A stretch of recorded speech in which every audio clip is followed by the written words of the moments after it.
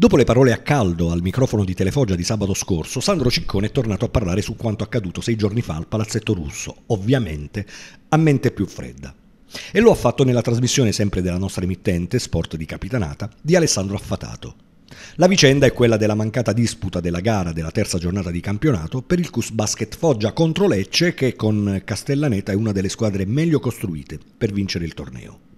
C'è ancora, a distanza di una settimana, molta rabbia per quanto successo, ha detto il coach foggiano durante la trasmissione, sottolineando anche che la società ha pensato bene comunque di avanzare lunedì scorso una sorta di ricorso, ancora però senza aver detto, poiché la stessa misurazione dell'altezza di uno dei due canestri da terra è stata effettuata secondo il CUS foggiano in modo abbastanza artigianale con mezzi non tecnicamente idonei.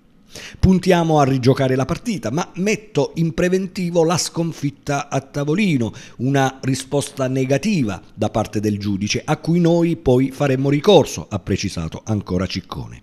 Mi dispiace troppo per i miei giocatori per il lavoro fatto nella settimana precedente, che non è servito poi a nulla, ragazzi che ci tenevano molto a quella partita, a tal punto da chiedermi quella stessa sera di allenarsi ugualmente anche dopo un match rinviato. Ora sarà importante il lavoro a livello mentale sulla squadra, riprendere il filo dell'ottimo inizio di campionato fatto registrare con due successi di fila dalla squadra foggiana.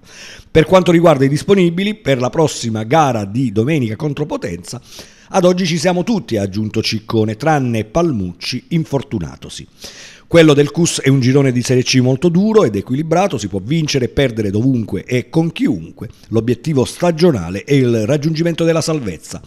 Il motivo di vanto per Ciccone è di avere da tre anni una ossatura, un roster composto tutto da ragazzi di Foggia ed un paio della provincia, uno di San Severo e l'altro di San Giovanni, tranne l'abruzzese Palmucci di Roseto ed il senegalese Seie. Lo stesso Buo è di Rimini, ma nonni, genitori e fratelli sono tutti foggiani.